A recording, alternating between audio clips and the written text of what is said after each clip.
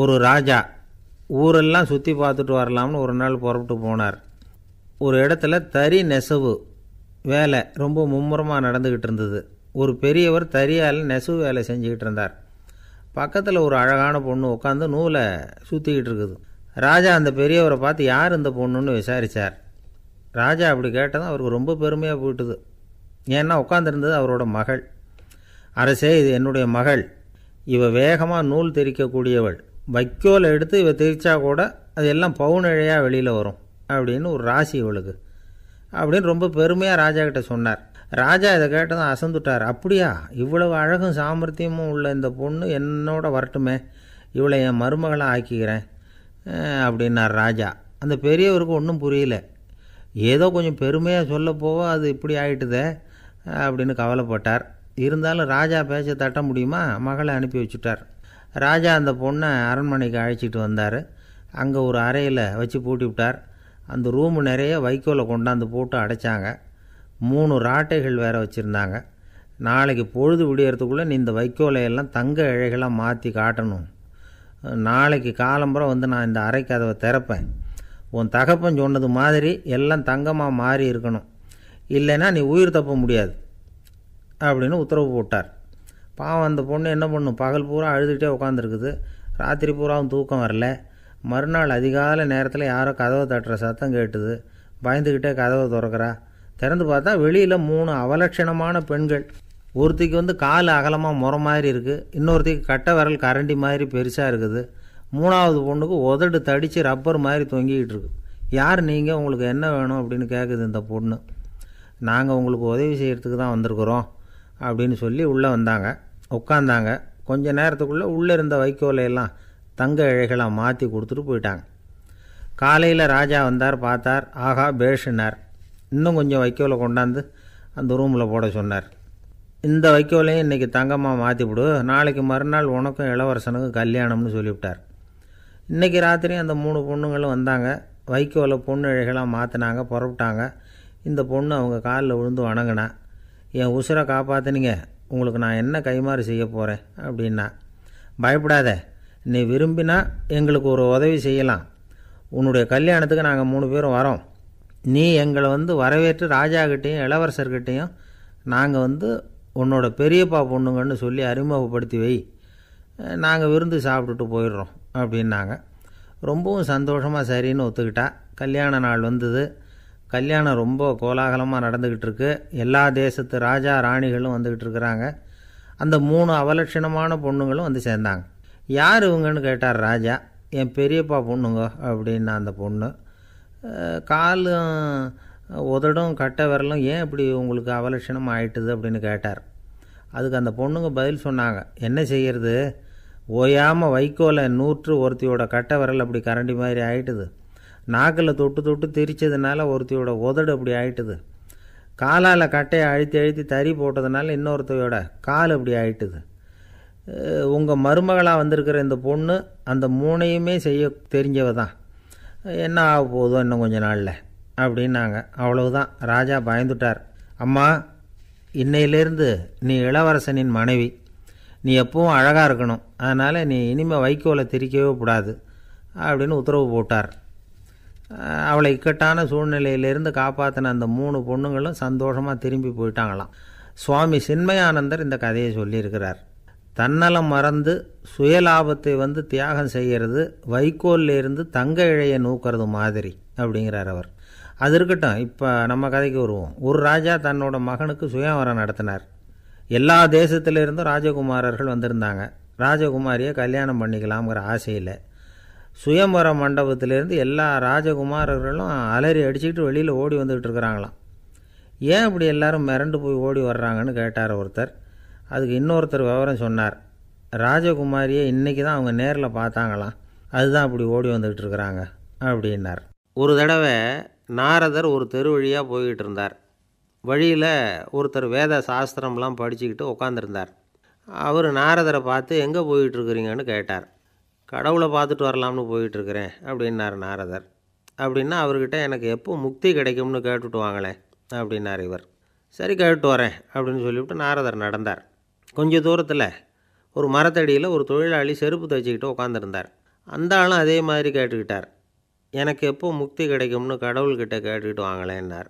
அவர்கிட்டையும் சரின்னு சொல்லிவிட்டு நாரதர் நேராக வைகுண்டத்துக்கு வந்து சேர்ந்தார். கடவுளை பார்த்தார். இவங்க ரெண்டு பேரும் சொல்லி அனுப்பின விஷயத்தை பற்றி கேட்டார். அதுக்கு கடவுள் சொன்னார் அந்த செருப்பு தைக்கிற தொழிலாளி உடல் நீத்ததும் உடனே என்னை வந்து அடைவான். ஆனால் அந்த சாஸ்திரம் படித்த ஆள் இப்போதைக்கு என்கிட்ட வந்து சேர மாட்டான்.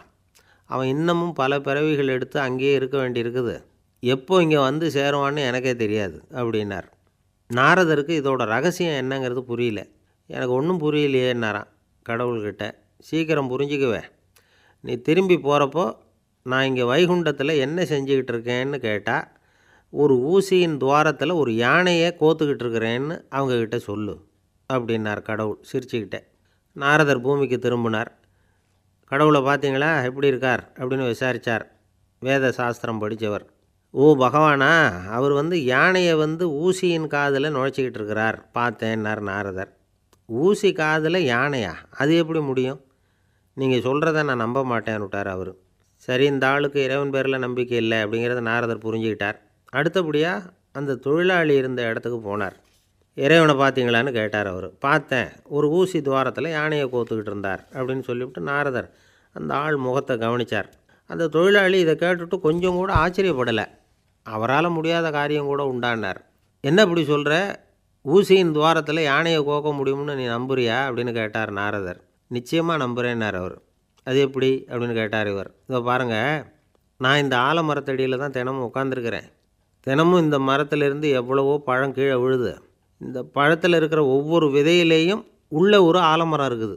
ஒரு சின்ன விதைக்குள்ளே ஒரு பெரிய ஆலமரம் இருக்க முடியுங்கிறப்ப ஊசி துவாரத்தில் கடவுள் வந்து யானையை நுழைய வச்சாருங்கிறத ஒத்துக்கிறதுல என்ன கஷ்டம் இருக்குது அப்படின்னு ரொம்ப சர்வசாதாரணமாக பதில் சொன்னாராம் அந்த தொழிலாளி.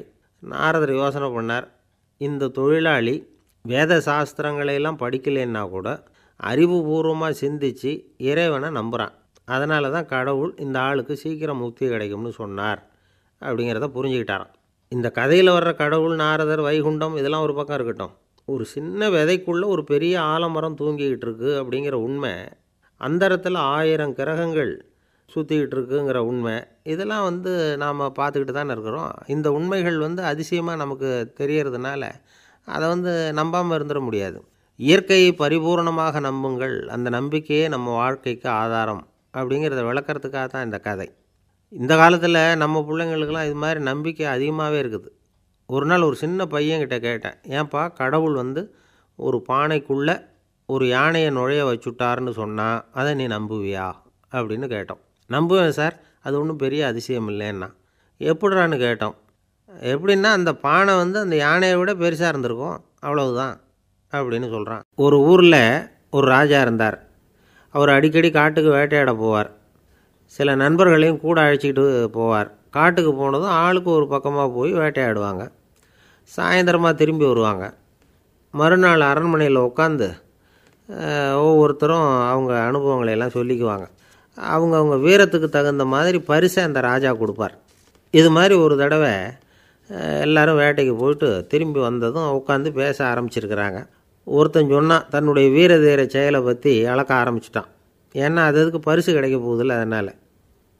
அவன் என்ன சொன்னான் தெரியுமா? அரசே நேற்றுக்கு காட்டில் என்னாச்சு தெரியுமா? எனக்கு நேராக ஒரு சிங்கம் வாயை திறந்துக்கிட்டு வந்துட்டுது. நான் பயப்படவே இல்லை. உடனே ஒரு கல்லை எடுத்து குறி பார்த்து வீசினேன் சிங்கத்து வாய்க்குள்ளே போய் அந்த கல் மாட்டிக்கிட்டுது. அவ்வளவுதான். அந்த சிங்கம் என்னை பார்த்துட்டு பயந்துட்டு ஒரே ஓட்டமாக திரும்பி ஓடி போயிட்டுது.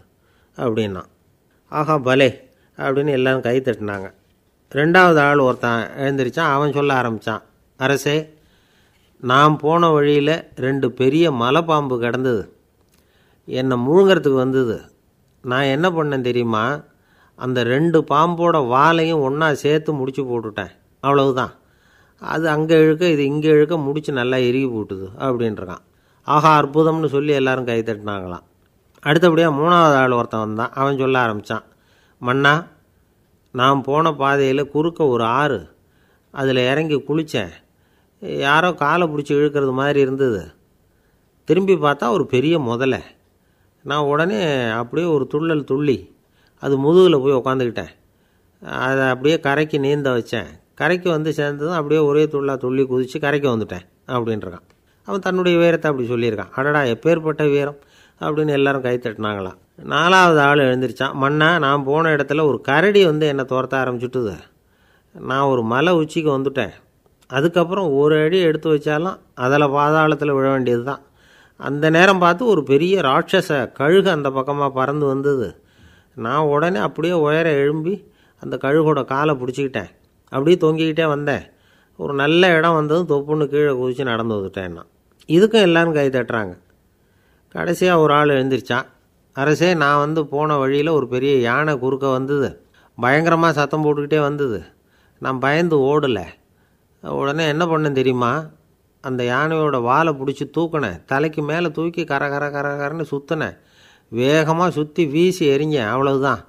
அதே ஸ்பீடில் அந்த யானை மேலே போக ஆரம்பிச்சுட்டுது. இன்னும் கூட அது போய்கிட்டே தான் இருக்குது கீழே விழவே இல்லைன்னா. இதை கேட்டதும் ராஜாவுக்கு கோவம் வந்துட்டுது. என்னை என்ன முட்டாள்னு நினச்சிக்கிட்டு பேசுகிறியா யானையை வந்து நீ வாலை பிடிச்சி தூக்குன அதை நான் நம்பணுமா? அப்படின்னார்.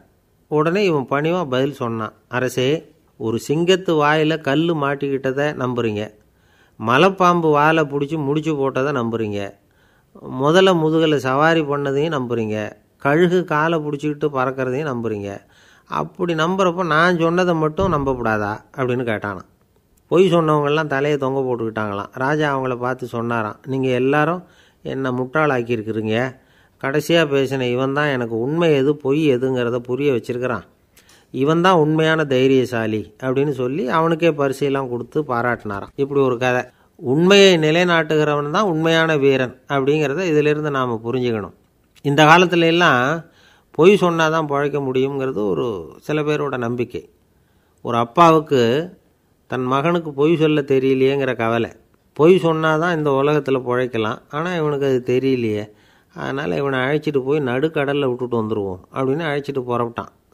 கடற்கரைக்கு போனான். மகனுக்கு சந்தேகம். எங்கேப்பா என்னை அழைச்சிட்டு போகிறேன்னு கேட்டிருக்கான். கடலில் மீன் பிடிக்க கற்றுக் கொடுக்க போகிறேன் உனக்கு அப்படின்னானா. நான் ஏற்கனவே மீன் பிடிச்சிட்டேனேன்னானா இவன் மகன். எங்கே அதுன்னு கேட்டிருக்கான் அப்பங்காரன். சுட்டு சாப்பிட்டுட்டேன்ருக்கான் புள்ள. அப்பங்காரன் பார்த்தான். சரி நம்ம புள்ள பொழைச்சிக்கோ அப்படின்னு சொல்லி திருப்பி அழைச்சிட்டு வந்துட்டானா. நம்மளில் சில பேர் ரொம்ப தைரியமாக இருப்பாங்க. நாம் கூட சொல்கிறது உண்டு. அந்த ஆளுகிட்ட வர்றதுக்கு எமன் கூட பயப்படுவான் அப்படின்னு சொல்கிறது உண்டு. தைரியசாலிகளை நெருங்கிறதுக்கு யமன் பயப்படுவான் அப்படின்னு சொல்கிறது உண்மை தான் அது பொய் இல்லை. மன வலிமை இருக்குது பாருங்கள் அது மனுஷனை காப்பாற்றும் இது வந்து மருத்துவ ரீதியான உண்மை. உடல் கோளாறுகள் மன ஆரோக்கியத்தை பாதிக்கும். மன எழுச்சி மன போராட்டம் இதெல்லாம் வந்து உடல் இயக்கத்தில் மாறுதலை உண்டாக்குது. சில வகையான நோய்களுக்கும் மனசுக்கும் இருக்கிற சம்பந்தம் என்னங்கிறத பற்றியெல்லாம் இப்போ ஆராய்ச்சி பண்ணுறாங்க ஆஸ்மா மூட்டு வலி பெருங்குடல் அழற்சி உயர் ரத்த அழுத்தம் சோரியாசிஸுங்கிற தோல் வியாதி வயிற்று புண்ணு இந்த தைராய்டு நச்சுத்தன்மை இது மாதிரி நோய்களை உண்டாக்குறதுல மனசோட பங்கு என்னங்கிறத பற்றியெல்லாம் ஆய்வு பண்ணி பார்த்துருக்குறாங்க. எதுக்கு எடுத்தாலும் சோர்ந்து போகிறது தோண்டு போகிறது இப்படிப்பட்ட மனவாகு அதோட யாரும் நமக்கு உதவ முடியாது அப்படிங்கிற மனோபாவம் கைவிடப்பட்ட மனநிலைமை இதெல்லாம் வந்து நோயோட தீவிரத்தை ரொம்ப அதிகரிக்க செய்யுதான். இவங்கள்லாம் அந்த கை கால் வலிக்குது உடம்பு அசதியாக இருக்குது தூக்கம் வரல முதுகு வலிக்குது உடம்பில் உடம்புல வந்து உணர்ச்சி குறையுது கை கால் விரல்லாம் மறத்து போகுது இப்படி ஏதாவது சொல்லிக்கிட்டு டாக்டர்களை தேடி வந்துக்கிட்டு இருப்பாங்க. நெஞ்சு வலி வந்து யாருக்கு வருது தெரியுமா? பதற்றம் போட்டி மனப்பான்மை அளவுக்கு அதிகமான வேகம் துடிப்பு பேராசை எதுலேயும் கட்டுப்பாடு நேரம் தவறாமை அப்புறம் இதெல்லாம் வந்து உள்ள மனவாக இரு உள்ளவங்க இருக்கிறாங்கல்ல அவங்க பெரும்பாலும் நெஞ்சு வலிக்கு ஆளாயிடுறாங்களாம். ஃப்ரீட்மேன் அப்படிங்கிறவர் நிறைய ஆராய்ச்சியெல்லாம் பண்ணி பார்த்துட்டு இதை உறுதிப்படுத்தியிருக்கிறார். அவர் பண்ணின ஆராய்ச்சியில் என்னெல்லாம் தெரிய வந்தது தெரியுமா? பொறுப்பு அதிகம் உள்ளவங்களுக்கு கண்டிப்பாக ரத்த அழுத்தம் வரும். அதிகமாக இருக்குமா? அதே மாதிரி கண்டிப்பாக இருக்கிறாங்கல்ல அவங்களுக்கும் ரத்த அழுத்தம் அதிகரிக்குமா? ரத்த அழுத்தம் தனக்கு அதிகமாக இருக்குங்கிறத தெரிஞ்சுக்கிட்டவங்க தலைவலி மயக்கம் இந்த தலை சுத்தல் அசதி இது மாதிரியான உணர்வுகளை வந்து அவங்களுக்கு வந்துடும் அது மாதிரி உணர்வு. ஆனால் உண்மை என்ன தெரியுமா? இதெல்லாம் வந்து ரத்த அழுத்தத்தினால இல்லை. ரத்த அழுத்தம் கட்டுப்பாட்டுக்குள்ளே இருந்தால் கூட இவங்க இப்படி நினைக்கிறாங்களாம். இதுக்கு காரணம் மனசு தான் அப்படிங்கிறார் அவர். சில பேர் எப்படி தெரியுமா? ஒருத்தர் வந்து மாரடைப்பால் இறந்து போனார் அப்படின்னு கேள்விப்பட்டால் போதும். இறந்து போகிறதுக்கு காரணம் இதயம்தான் அப்படிங்கிற பீதியால் இதய தளர்ச்சி அப்படிங்கிற மனநோயால் பாதிக்கப்படுறார். இவங்கெல்லாம் அடிக்கடி தங்களுடைய இதய பகுதியை தொட்டு பார்த்துக்குவாங்க. நாடியை பிடிச்சி பார்த்துக்குவாங்க. அடிக்கடி மூச்சை உள்ளுக்கு இழுத்து வெளியில் விட்டு வலி வருதா அப்படின்னு பார்த்துக்கிட்டு இருப்பாங்க. வேறு எங்கேயாவது வலிச்சா கூட நெஞ்சை வலிக்குதா? அப்படின்னு பார்ப்பாங்க. நெஞ்சு வலிக்குதுன்னு கூட சில பேர் சொல்ல ஆரம்பிச்சிருவாங்க. ஆஸ்மாவுக்கும் மனசுக்கும் சம்பந்தம் உண்டு. தீர்வு காண முடியாத மன போராட்டங்கள் எல்லாத்துக்கும் அடுத்தவங்களையே சார்ந்து இருக்கிற மனநிலை இதெல்லாம் ஆஸ்மாவினுடைய தீவிரத்தை வந்து அதிகப்படுத்திடும் பயம் இது எப்படின்னா என்ன நடக்குமோங்கிற பதட்ட நிலை அப்புறம் இந்த பயம் இதெல்லாம் வந்து சுவாசித்தலை வந்து அதிகரிக்க செய்யுது இல்லையா? இதனால் ரத்தத்தின் காரத்தன்மை அதிகமாகி நோயின் தீவிரமும் அதிகமாகுது. மன போராட்டம் மனக்கவலை மன இறுக்கம் இதெல்லாம் வந்து தோல் வியாதியை தூண்டி விடுதான். இது மாதிரி இன்னும் எவ்வளவோ இருக்குது. அதனால் இன்றைக்கி நமக்கு தேவை என்னென்னா மன வலிமை மலர்ந்த முகம். இது ரெண்டு இருந்துட்டுதுன்னா பலவிதமான நோய்கள் நம்மக்கிட்ட நெருங்கி வராது. டாக்டர் என்ன நெருங்காமல் இருக்கிறதுக்கு நான் ஒரு காரியம் பண்ணுறேன் அப்படின்னார் ஒருத்தர். அவர் என்ன அர்த்தத்தில் சொன்னார்னா டாக்டர் வந்து அவரை நெருங்காமல் இருக்கிறதுக்கு அவர் ஒரு காரியம் பண்ணுறாராம் நண்பர்கிட்ட சொன்னார். நண்பர் கேட்டார் அது என்ன காரியம் பண்ணுற அப்படின்னு கேட்டார். தினம் ஒரு ஆப்பிள் பழம் சாப்பிட்றேன்னார் அவர். ஏன்னா ஆங்கிலத்தில் ஒரு பழமொழி சொல்லுவாங்கள்ல an apple a day keeps doctor away அப்படிம்பாங்க. ஒரு ஆப்பிள் பழம் சாப்பிட்டா டாக்டர் விலகியே இருப்பார். டாக்டர்கிட்ட போக வேண்டிய அவசியம் இருக்காது. அப்படிங்கிறதுக்காக அந்த பழமொழி சொல்கிறது என்ன நான் யாருமே நெருங்காமல் இருக்கிறதுக்கு நான் ஒரு காரியம் பண்ணுறேன்னார் இன்னொருத்தர். டாக்டர் நெருங்காமல் இருக்கிறதுக்கு ஆப்பிள் பழம் சாப்பிட்றேன்னார் அவர். என்னை யாருமே நெருங்காமல் இருக்கிறதுக்கு நான் ஒரு காரியம் பண்ணுறேன்னார் இன்னொருத்தர். அது என்னன்னு கேட்டோம். தினம் ஒரு பூண்டு சாப்பிட்றேன்னார். A garlic a day keeps everybody away அப்படின்னு அதுக்கு ஒரு புது விளக்கமும் கொடுத்தார். என்னை விட யோக்கியம் இந்த உலகத்தில் வேறு யாரும் இல்லை சார் அப்படின்னார் ஒருத்தர். அவரை விட அயோக்கியன் வேறு யாரும் இருக்க முடியாதுங்கிற முடிவுக்கு கேட்டவங்க வந்துட்டாங்களாம். மனுஷனுக்கு இருக்கிற ஒரு மிகப்பெரிய குறையே தன்கிட்ட இருக்கிற குறை அவனுக்கு தெரியாமல் போகிறது தான் ஆனால் அடுத்தவங்ககிட்ட இருக்கிற குறை இவனுக்கு தெளிவாக தெரிஞ்சிடும் ஒரு ஒட்டகம் ஒரு கொக்கை பார்த்து ஒரு கேள்வி கேட்டு தான் என்ன கேள்வி தெரியுமா? உன் கழுத்து ஏன் இப்படி வளைஞ்சி போயிருக்குது? அப்படின்னு கேட்டிருக்கு. இதுக்கு உடம்பே வளைச்சல். இது போய் கொக்கை கிண்டல் பண்ணுது. இன்றைக்கி மனித சுபாவமும் கிட்டத்தட்ட இப்படி தான் இருக்குது. இந்த உலகத்தில் குறையில்லாத மனிதர்கள் யாரும் கிடையாது. நாம் உள்பட அப்படிங்கிறத முதல்ல நாம் நல்லா புரிஞ்சுக்கணும். ஒரு ஊரில் ஒரு விற்பனை நிலையம் இருந்தது. செல்ல பிராணிகளை விற்பனை செய்கிற நிலையம் அது. நாய் கிளி பூனை இப்படி நிறைய வச்சு விற்பனை பண்ணிகிட்ருக்குறாங்க நாய்க்குட்டி விற்பனை செய்கிற பகுதியில் ஒரு சிறுவன் நின்றுக்கிட்டு இருந்தான். விற்பனை செய்கிற ஆளுகிட்ட விலை கேட்டுக்கிட்டு இருந்தான். அதோ இருக்குதே அந்த நாய்க்குட்டி என்ன விலை அப்படின்னு கேட்டானா. ஆயிரம் ரூபா அப்படின்னாரான் சரி அது வேணாம் இது என்ன விலைன்றிருக்கான். ஐநூறுரூவா அப்படின்னாரான் இந்த சின்ன பையன் கையில் வச்சுருந்தது வெறும் ஐம்பது ரூபா தான். அதனால் இதை விட குறைச்சலாக கிடைக்குமான்னு பார்த்துருக்கான். அந்த கடையில் ஒரு மூலையில் சரியாக கவனிக்கப்படாமல் ஒரு நாய்க்குட்டி படுத்து கிடந்தது. பாவமாக கத்திக்கிட்டு இருந்தது. அதை பார்த்ததுமே இவனுக்கு அது ரொம்ப பிடிச்சி போச்சு. உடனே அந்த கடைக்காரரை பார்த்து அதுவும் அந்த மூலையில் படுத்து கிடக்குதே அந்த நாய்க்குட்டி என்ன விலை அப்படின்னு கேட்டிருக்கான். தம்பி அது ஒரு கால் ஊனம். அதனால் அது உன்னோட குதித்து விளையாடவோ ஓடுறதோ அதால் முடியாத காரியம் அப்படின்ட்டுருக்கார் அவர். அது தெரிஞ்சு தாங்க கேட்குறேன் அதோட விலை என்ன அதை மட்டும் சொல்லுங்களேன் அப்படின்ட்டுருக்கான் தம்பி இது வந்து கால் ஊனம் உள்ள ஒரு நாய். இதை போய் காசு கொடுத்து வாங்கிறதுக்கு யாராவது பிரியப்படுவாங்களா? இதை நான் உனக்கு இலவசமாகவே தர்றேன் எடுத்துகிட்டு போ அப்படின்னாரான் இதை கேட்டதும் அந்த சிறுவனுக்கு கோவம் வந்துட்டு தான் நீங்கள் ஒன்றும் சும்மா கொடுக்க வேணாம். இந்தாங்க ஐம்பது ரூபா. இதை வச்சுக்கிட்டு நாய்க்குட்டியை கொடுங்க அப்படின்ட்டுருக்கான் அவருக்கு ஒன்றும் புரியல. ஆச்சரியமாக இருந்தது. சரின்னு பணத்தை வாங்கிட்டு நாய்க்குட்டியை தூக்கி கொடுத்தார். அந்த சிறுவன் அந்த நாய்க்குட்டியை ரெண்டு கையாலையும் வாங்கினா மார்போட பிரியமாக சேர்த்து அணைச்சிக்கிட்டான். தெருவில் இறங்கி நடக்கிறான். அப்படி நடக்கும்பொழுது தான் பார்க்குறார். கடைக்காரர் வந்து ஆச்சரியமாக அவனை பார்க்குறார். அப்போ தான் அவருக்கு ஒரு விஷயம் புரியுது. அந்த சிறுவன் தெருவில் நாய்க்குட்டியை மார்போடு அணைச்சிக்கிட்டு விந்தி விந்தி நடந்து போய்கிட்டு இருக்கிறான். ஆமாம் அவனுக்கும் ஒரு கால் ஊனும் இந்த நாய்க்குட்டியை யாருமே வாங்க மாட்டாங்கன்னு நினச்சிக்கிட்டு இருந்தார். குறையுள்ள அதுக்கும் ஒரு எஜமானன் கிடச்சிட்டான். அதனால் ஊனம் ஒரு குறை இல்லை அப்படிங்கிற உண்மையை அந்த கடைக்காரர் புரிஞ்சுக்கிட்டாராம். நம்மால் ஒருத்தர் கொஞ்சம் வயசானவர் எழுந்திரிச்சு சரியாக நடக்க முடியாது சாய்வு நாற்காலியிலேயே எப்பவும் உட்காந்துருப்பார் அவர் தனக்கு துணையாக ஒரு நாயை பக்கத்தில் வச்சுருந்தார். அதுவும் ரொம்ப வயசான ஒரு நாய் எழுந்திரிக்கவே சிரமப்படும் நடக்கவும் முடியாது. அவர் பக்கத்திலே இதுவும் சோர்ந்து போய் படுத்து கிடக்கும். அந்த பெரியவரை பார்க்க வந்த ஒருத்தர் கேட்டார்.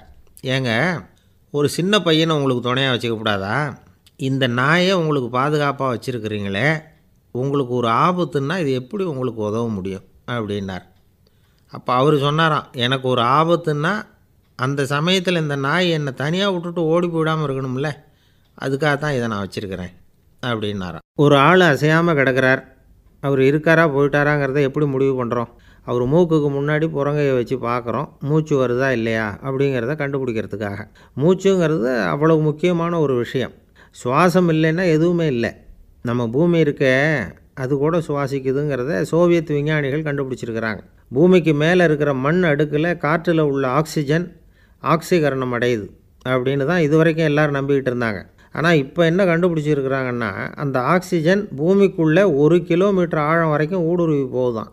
பூமிக்குள்ளே ரெண்டு பக்கமும் பல கிலோமீட்டர் வரைக்கும் பரவு தான் பூமிக்குள்ளே இருக்கிற நீர்நிலை அடுக்குகள் தான் நுரையீரல் செய்கிற வேலையை செய்யுதான். நம்ம உடம்புல நுரையீரல் இல்லைன்னா ஒன்றும் நடக்காது. ஒரு மரத்தை தலைகீழாக தொங்க போட்டால் எப்படி இருக்கும்?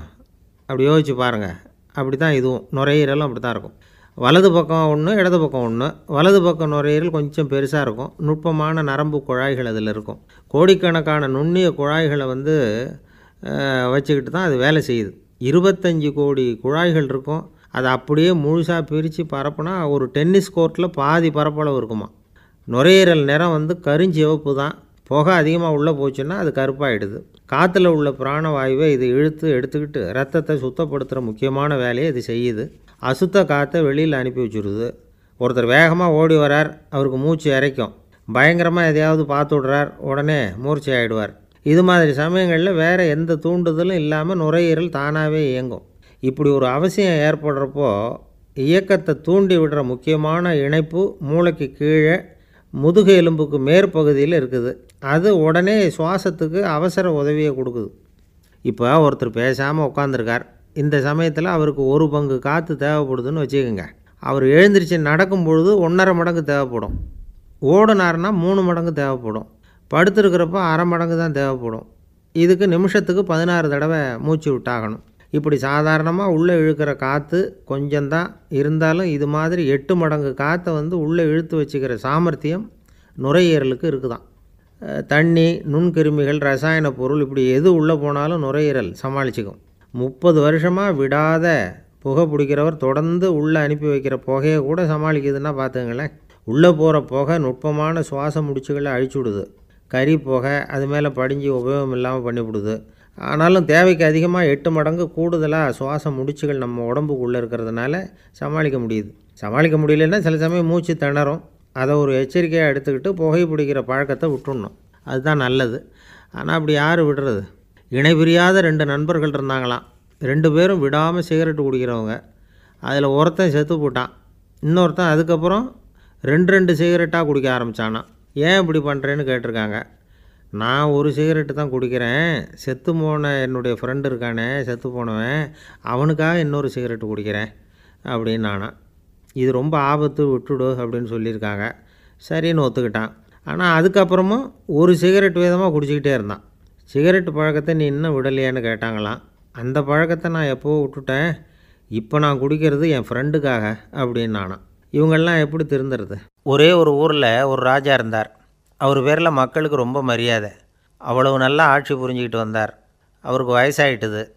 அதனால் ஒரு நாள் அமைச்சரை கூப்பிட்டார். இதை பாருங்கள் எனக்கு வயசாயிட்டுது. அதனால் இந்த அரச பொறுப்பையெல்லாம் நீங்கள் ஏற்றுக்குங்க அப்படின்னார். அதுக்கப்புறம் ராணியை கூப்பிட்டார். வா நாம் இனிமேல் இங்கே இருக்க வேணாம்.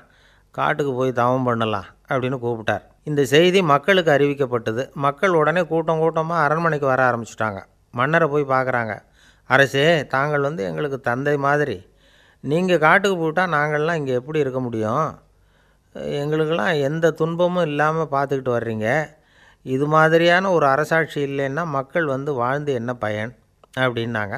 இருந்தாலும் என்ன பண்ணுறது வயசாயிட்ட காரணத்தினால இந்த முடிவுக்கு வர வேண்டியிருக்குது அப்படின்னாரா ராஜா. அப்படின்னா நீங்கள் காட்டுக்கு போக வேணாம். நாங்கள் போகிறோம் நாங்கள் அங்கே போய் தவம் பண்ணுறோம் வழிபாடு பண்ணுறோம் கடவுள் வருவார். அவர்கிட்ட வரம் வாங்கிட்டு வந்துடுறோம் அப்படின்னாங்களாம். அப்படி சொல்லிவிட்டு உடனே எல்லோரும் காட்டுக்கு போனாங்க. நாட்டு மக்கள் எல்லாரும் ஒட்டு மொத்தமாக வந்து காட்டில் உட்காந்துக்கிட்டு தவம் பண்ணுறதை பார்த்தார் கடவுள். உடனே புறப்பட்டு வந்தார். எல்லோரும் இப்படி வந்து உட்காந்துருக்குறீங்களே என்ன வேணும் உங்களுக்கு அப்படின்னு கேட்டார். உடனே மக்கள் எல்லாரும் ஒரு குரலில் சொன்னாங்க சுவாமி எங்கள் மன்னன் ரொம்ப நாளைக்கு நல்லபடியாக இருக்கணும். அவர் வந்து மகிழ்ச்சியாகவும் உடல் நலத்தோடும் இருந்தால் தான் நாங்கள் அமைதியாக வாழ முடியும் அப்படின்னாங்க. சரி அதுக்கு என்ன செய்யணும்? அப்படின்னார் ஆண்டவன். எங்கள் மன்னருக்கு இன்னும் ஒரு நூறு வருஷம் ஆயுளை கொடுங்க அப்படின்னாங்க. அவ்வளவுதானே? சரி அப்படியே ஆகட்டும் அப்படின்னு சொல்லிவிட்டு ஆண்டவன் போயிட்டார். மக்கள் மகிழ்ச்சியோடு திரும்பி வந்தாங்க. மன்னா கடவுள் வரம் கொடுத்துட்டார். நீங்கள் நூறு வருஷம் வாழ போகிறீங்க அப்படின்னாங்க. இதை கேட்டதும் ராணி ராஜாவை வணங்கி நான் தவம் செய்ய போகிறேன் அப்படின்னு புறப்பட்டாங்க. உடனே மக்கள் என்ன நினச்சாங்க தெரியுமா? ஐயோ நாம் ராஜாவுக்கு மட்டும்தானே நீண்ட ஆயுள் வேணும்னு வரம் வாங்கினோம். ராணிக்கு வாங்கலையே. அதுதான் கோபத்தில் புறப்பட்டாங்க போல இருக்கு அப்படின்னு நினச்சி வருத்தப்பட்டாங்க. ஆனால் ராணி நினச்சது அது இல்லை. ராணி போய் தவம் பண்ணாங்க கடவுள் காட்சி கொடுத்தார். இவங்க கேட்குறாங்க சுவாமி ராஜாவுக்கு மட்டும் நூறு வருஷம் ஆயுள்னு வரம் கொடுத்துட்டீங்க. அப்படின்னா குடிமக்களும் நூறு வருஷம் இருக்கணும். இப்படிப்பட்ட குடிமக்கள் இல்லைன்னா அப்படிப்பட்ட அரசன் இருந்து என்ன பிரயோஜனம்? அப்படின்னாங்களாம். ஆண்டவன் பார்த்தார் சரி அவங்களும் நூறு வருஷம் வாழ்வாங்க. அது மட்டும் இல்லை நீயும் நூறாண்டு காலம் வாழ வரமளிக்கிறேன் அப்படின்னு சொல்லிவிட்டு மறைஞ்சிட்டார். இதில் ஆண்டவன் வர்றதும் மறையிறதும் முக்கியம் இல்லை. இதில் கவனிக்க வேண்டியது ஆள்கிறவனின் விசால மனம் குடிமக்களின் விசால மனம் ஆள்கிறவன் மனைவியினுடைய விசாலமானம். இப்படி ஒரு நாடு இருந்துட்டுதுன்னா எப்படி இருக்கும் வாழ்க்கை நினச்சி பாருங்கள் அதனால தான் பெரியவங்கள்லாம் சொல்கிறாங்க இதய வாசல் திறந்தே இருக்கணும். இதயத்தின் கதவுகளை மூடாதீங்க அப்படின்னு சொல்லுவாங்க. என்கிட்ட ஒருத்தர் சொன்னார் என்னுடைய இதய வாசல் எப்பவும் திறந்தே தான் இருக்குதுன்னார். எதனால் அப்படி சொல்கிறீங்க அப்படின்னு கேட்டோம். டாக்டரே சொல்லிவிட்டார் என்னுடைய இதயத்தில் ஒரு ஓட்டை இருக்குது அப்படின்னு. வாழ்வு சரியில்லையா? அப்படிங்கிறார். வங்க நாவலாசிரியர் சரத் சந்திரர். ஒரு நண்பர் அவர்கிட்ட வந்தார். வழக்கமாக எல்லா எழுத்தாளர்கள்கிட்டையும் கேட்குற ஒரு கேள்வியை கேட்டார். நீங்கள் எழுத்துத்துறைக்கு வந்தது எப்படி? இதுதான் கேள்வி. அதை தெரிஞ்சு என்ன பிரயோஜனம்னார்? சரத் சந்திரர். சும்மா சொல்லுங்களேன் தெரிஞ்சுக்கிறேன் அப்படின்னார் வந்தவர். சரி சொல்கிறேன்னு ஆரம்பித்தார் நான் வந்து ரங்கூனில் வேலை பார்த்துக்கிட்டு இருந்தேன். சம்பளம் பத்தில் வேலையும் பார்த்துக்கிட்டு ஒரு பலசரக்கு கடை வைக்கலாம்னு நினச்சேன். என்னால் மளிகை கடை வச்சு சரியாக நடத்த முடியுமாங்கிற சந்தேகம் என் மனைவிக்கு. அதை சோதனை பண்ணி பார்க்கணுங்கிறதுக்காக சில பொருள்களின் அளவு அதோட விலை இப்படி சிலதை சொல்லி எல்லாத்தையும் மனக்கணக்காக கூட்டி போட சொன்னாங்க. என்னால் சரியாக கூட்டி சொல்ல முடியல. உங்களால் மளிகை கடை நடத்த முடியாதுன்னு சொல்லிவிட்டாங்க உடனே. என்ன பண்ணுறது? வேறு வழி இல்லை. கதை எழுத ஆரம்பிச்சிட்டேன் அப்படின்னார். கேட்டவருக்கு சிரிப்பு வந்துட்டு தான். சரத் சந்திரர் ஒரு பக்கம் சீரியஸான நாவல்கள் சிறுகதைகள் எழுதியிருந்தாலும் அவருடைய இன்னொரு பக்கம் வேறு விதம். நண்பர்கள்கிட்ட பேசும்பொழுதும் சரி அவர்களுக்கு கடிதங்கள் எழுதும்போதும் சரி கேலியும் கிண்டலும் நகைச்சுவை உணர்வும் அதிகமாக இருக்கும். காந்திஜி ஒரு சமயம் கல்கத்தாவுக்கு வந்திருந்தார். தேசபக்தர்கள் பல பேர் அவர்கிட்ட பேசிக்கிட்டு இருந்தாங்க. அப்போது சரத் சந்திரரும் அங்கே இருந்தார். கிரண் சங்கர் ராய் அப்படிங்கிறவரும் அங்கே இருந்தார். அவர் சொன்னாராம் காந்திஜியோட பழகிய முதல் வங்காளி நான் தான். போயர் யுத்த காலத்தில் இவர் வந்து லண்டனுக்கு வந்திருந்தப்போ என்கிட்ட தான் வங்காள மொழி கற்றுக்கிட்டார் அப்படின்னாராம். உடனே சரத் சந்திரர் காந்திஜியை பார்த்து இவர் உங்களுக்கு வங்காள மொழி கற்றுக் கொடுத்தது உண்மைதானா? அப்படின்னாராம். ஆமான்னாராம் காந்தி. அதனால தான் உங்களால் வங்காள மொழி கற்றுக்க முடியல அப்படின்னாராம். எல்லாரும் சிரித்தாங்களாம் சரத் சந்திரர் சாம்தா பேர் அப்படிங்கிற கிராமத்தில் தங்கியிருந்தார். ஒரு இலக்கிய நிகழ்ச்சியில் கலந்துக்கிறதுக்காக. அதுக்காக வந்து ஒரு கல்கத்தாவுக்கு போக வேண்டிய சூழ்நிலை. அதுக்காக புறப்பட்டார். அந்த சமயத்தில் பின்னாடி இருந்து யாரோ அவரை கூப்பிட்டாங்க. இப்படி கூப்பிட்டவரை பார்த்து இன்னொருத்தர் யாரோ அதட்டி இருக்கிறாங்க. போகிறவரை ஏன் இப்படி கூப்பிடுறீங்க? அப்படின்னு. ஏன் கூப்பிட்டா என்னன்னு? கேட்டிருக்கார் சரத் சந்திரர் புறப்படுறவங்கள பின்னாடி இருந்து கூப்பிடுறது அபசகுணம் போகிற இடத்துல ஏதாவது ஆபத்து வரலாம் அப்படின்னு அதுக்கு விளக்கம் கொடுத்துருக்கிறார் அவர். உடனே சரத் சந்திரர் சொன்னாராம் இதோ இவங்க என்னை இலக்கிய கூட்டத்துக்கு அழைச்சிட்டு போகிறாங்களே இதை விட வேறு என்ன ஆபத்து வந்துட போகுது? அப்படின்னாராம். இப்படி சரத் சந்திரருக்கு இயல்பாகவே நகைச்சுவை உணர்வு உண்டு. அவருடைய நண்பர் ஒருத்தர் வீட்டுக்கு கூப்பிட்டுருந்தார். அங்கே ஒரு கச்சேரிக்கு ஏற்பாடு பண்ணியிருந்தாங்க. சரத்சந்திரருக்கு இயல்பாகவே கச்சேரியில் நீண்ட ஆலோசனையெல்லாம் கேட்குறதுக்கு பொறுமை இருக்காது. அதனால் மெதுவாக பாட போகிறவர் எப்படி அப்படின்னு கேட்டிருக்கார். அவருக்கு ரொம்ப நல்லா பாட தெரியும் அப்படின்னு சொல்லியிருக்கிறாங்க. அதுக்கு சரத் சந்திரர் பாடத் தெரியுங்கிறது சரி பாட்டை நிறுத்த தெரியுமா? அதை சொல்லுங்கள் முதல்ல அப்படின்னாராம்.